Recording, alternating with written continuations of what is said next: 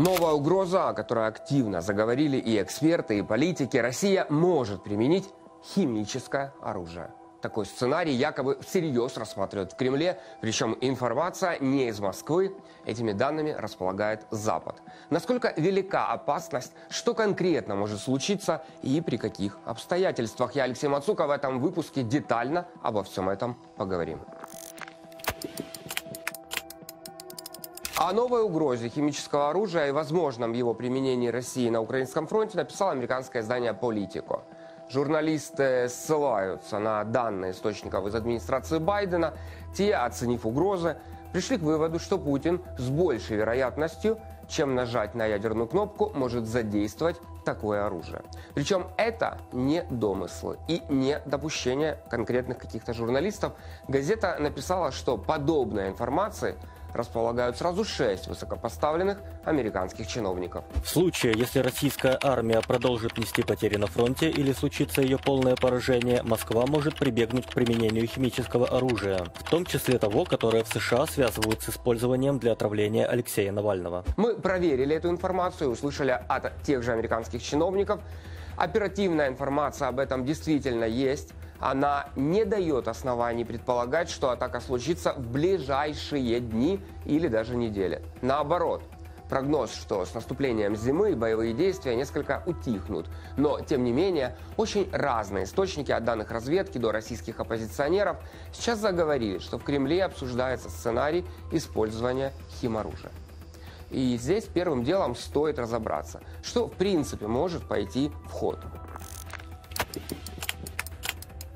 что есть в российском военном арсенале. Если верить официальным заявлениям Москвы, в России химического оружия нет вообще. Еще в 1993 году страна присоединилась к специальной конвенции, согласно которой его разработка, производство и применение запрещены. И в сентябре 17 якобы, якобы избавились от всего – Тогда, по официальной версии, все 40 тысяч тонн советских запасов были окончательно уничтожены. Но как в это поверишь, если впоследствии Россия не раз оказывалась в самом эпицентре скандалов, где химоружие как раз фигурировало? На вооружении Советского Союза было как минимум с десяток боевых ядовитых веществ. И это лишь те, о которых известно. Одно из них – это средство нервно-паралитического действия под названием «Новичок». Тот самый, которым в Великобритании в 18 году отравили семью Скрипалей, спустя два года этот же яд, по данным немецких специалистов, задействовали при отравлении российского оппозиционера Алексея Навального. Последствия от отравления новичком крайне тяжело лечатся. У этой отравы нет ни вкуса, ни запаха.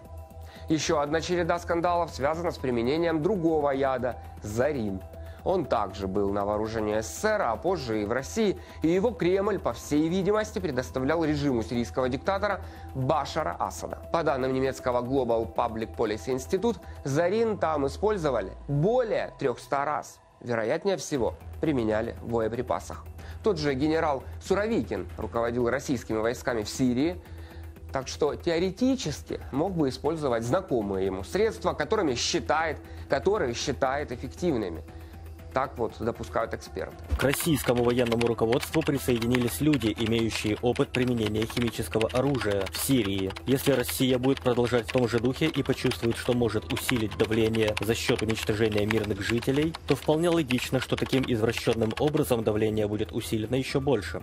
Скептикам, которые думают, что на такое Россия пойти не способна, напомню ситуацию со штурмом завода «Азовсталь», в ходе которого, по данным Госдепартамента США, и об этом Вашингтон Вашингтоне заявили открыто, Москва уже была готова использовать химическое оружие.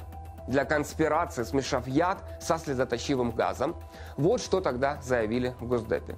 Нам доступна достоверная информация о том, что россияне, возможно, готовились использовать отравляющие вещества, потенциально слезоточивый газ, смешанный с другими отравляющими веществами, чтобы ослабить и вывести из строя украинских военных и гражданских в Мариуполе, ослабить оборону города. И лишь публичное оглашение, что атака готовится, заставило Москву от нее отказаться. А вот эксперты-химики говорили тогда, что очень важно заранее разработать систему мониторинга, потому что одно дело подозревать Россию, и другое – собрать доказательства применения химоружия.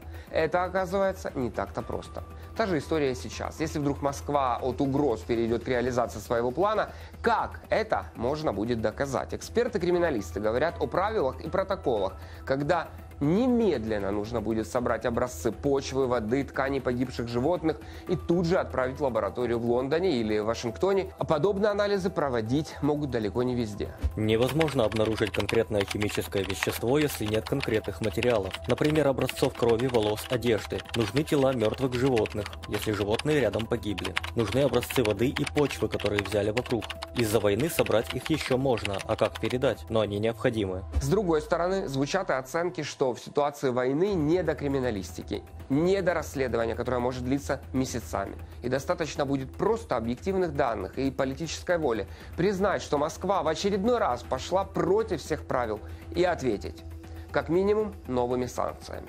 Часто это сложность доступа к месту происшествия. Также часто это и политические аспекты. Когда полмира подписала конвенцию о запрете химического оружия, его использование большой прецедент. Я думаю, по большей части это политическое решение – признавать или не признавать использование. В Киеве говорят, что в курсе ситуации, происходящего около линии фронта, мониторят, но пока что не видят непосредственной подготовки России к использованию такого оружия. Однозначно у них химическое оружие есть. У них есть подразделение РХБ защиты на территории Украины, которые могут применять химическое оружие. Но разведка в данное время не подтверждает то, что россияне массово перевозят боеприпасы с отравляющими веществами. Но тут возникает еще один вопрос. А что если утечки информации в Москве допустили намеренно?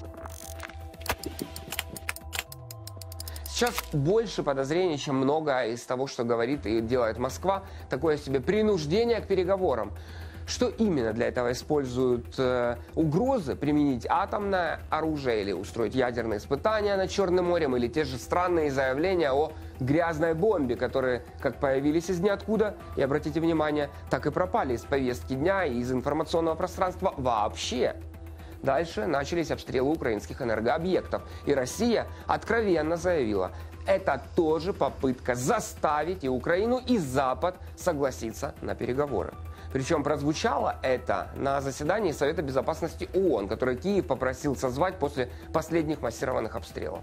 И просто в зале под запись от посла Небензи услышали, мол, либо ракеты будут лететь дальше, либо поговорите с нами. СВО будет реализовываться военными методами, пока киевский режим не займет реалистичную позицию, которая позволяла бы в рамках переговоров обсудить и попытаться урегулировать те вопросы, которые вынудили нас начать специальную военную операцию. Тут, конечно, стоит разобраться. Это давление на украинские власти или больше стремление показать Западу, что риски, мол, возрастают. Но, как бы там ни было, долгое время сжимать пружину, постоянно повышая ставки, усиливая эскалацию, тоже ну, невозможно.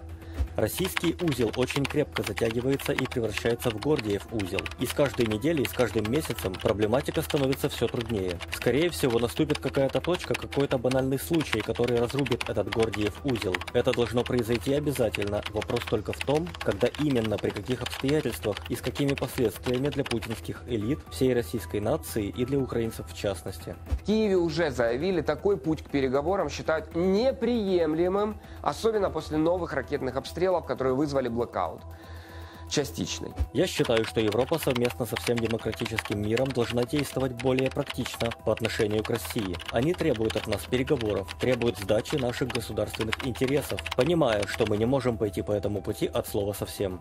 О том, что этот разговор Москва просит не ради мира, сомнений, похоже, уже ни у кого не осталось.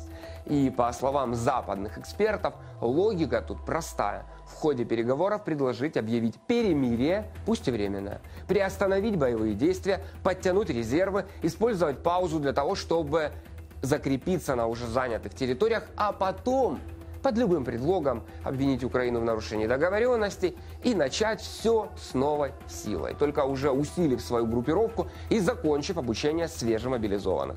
Единственное, что делает преждевременное перемирие, это позволяет обеим сторонам перевооружиться. И поскольку Россия сейчас больше всего истощена, она больше всего от этого выиграет, а затем возобновит войну. Так что все, что вы покупаете за перемирие, это продолжение войны. Это не решило бы ни одной из основных проблем. Тут еще важно вот на что обратить внимание внимание, каждый раз информация о новой угрозе появлялась в аккурат после очередных провалов России на фронте. В частности, после начала контрнаступления ВСУ в Харьковской области.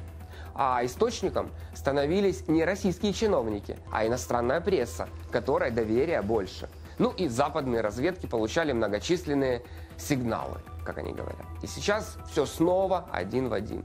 Так что не исключаю, что в Кремле просто достали из колоды еще одну карту, которую очень уж стараются выдать за туза. Как произойдет дальше, конечно, посмотрим. Время сейчас такое, что ничего нельзя списывать со счетов. И в то же время ни одна угроза, по большому счету, не способна сама по себе изменить кардинально ситуацию. По-прежнему все будет решаться на поле боя, на фронте. Ну а что именно будет происходить, обязательно поговорим в одном из следующих выпусков. Я Алексей Мацука. Спасибо, что смотрите. До встречи.